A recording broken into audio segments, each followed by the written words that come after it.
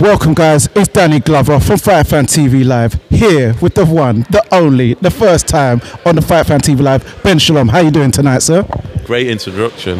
I enjoyed that. No, I'm very good. Obviously, that was uh, that was an incredible night, incredible performance, and I'm gonna have a very happy journey home. I'm looking forward to going and seeing Tyler in the changing room. Fucking yeah, best performance he's had.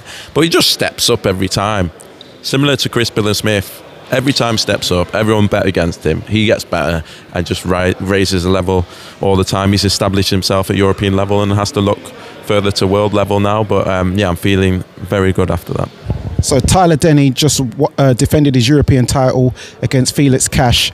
Um, on the replay, it looked like it was done by a punch, but for some reason they went to the scorecards and um, went to uh, the decision. I couldn't I couldn't see, I thought I'd seen him hit him that many times because they said it was a head clash in the second round. Yes. But I'd seen him hit him hit him that many times. I was thinking. Then I was thinking, hang on, what's going on here? This is a classic home promoter, whatever. Obviously, he was many rounds up, but yeah, it's a shame he didn't get the, the stoppage. But I didn't want to say anything. You're telling me now. I couldn't really understand what was going on he seemed to suggest it was a it was a head clash from many rounds ago. Luckily, he's come away with a win.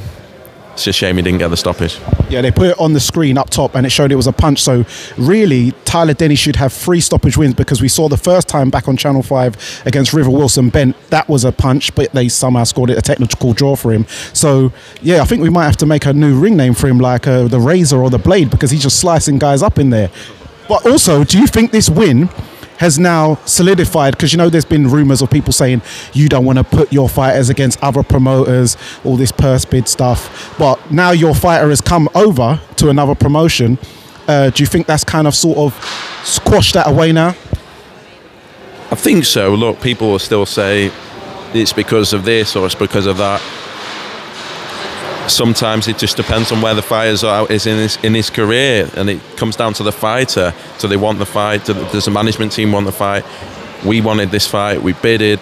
We expected to win. We lost. We came over, and it's a fantastic win. What I'm glad about is that the communications lines, because of this, seem to be more open, and there seems to be more dialogue, and that can only be a good thing. And that's what we wanted from the start.